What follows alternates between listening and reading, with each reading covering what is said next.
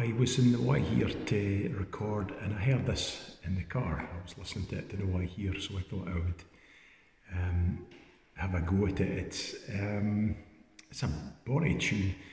It's called Exile and um, it's by Enya.